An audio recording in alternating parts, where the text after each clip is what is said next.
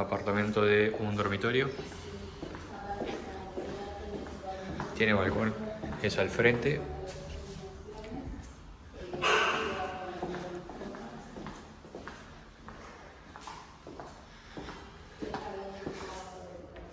Aquí tiene el termofón y la conexión del lavarropa.